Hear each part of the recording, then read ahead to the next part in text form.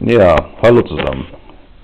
Dies ist ein kleines Video von meinem Commodore Plus 4 plus, äh, den ganz, äh, plus der ganzen Hardware, die ich dazu gekauft habe.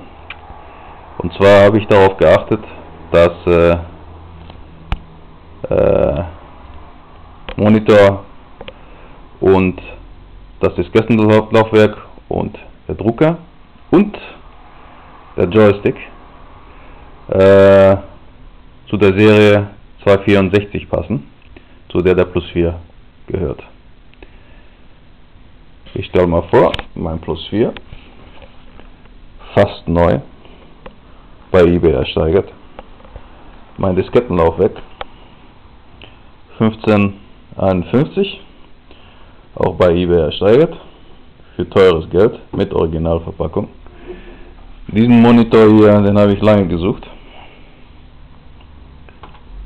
Ich mache mal ein Bildschirm ein bisschen schwarz. Das ist der 1801, äh, von dem ich glaube, dass er sehr gut zu der 264er Serie passt. Anhand dieses Logos hier. Ne? Dieses Logo hat eigentlich nur die 264er Serie, wie man das hier sieht. Und hier. Und passend noch. In schwarz, sehr elegant. Der Commodore MPS 803 Drucker, der auch sehr gut zu der 264er Serie passt.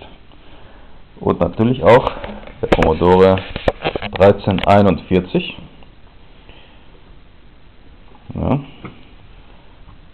welcher auch sehr gut zu dieser Serie passt und eigentlich nur an diesen plus 4 angeschlossen werden kann, weil er hat nämlich einen runden Stecker hinten und nicht diesen quadratischen, den normalerweise der C64 hat. Ja, das war's von mir. Hoffe, das Video hat euch gefallen.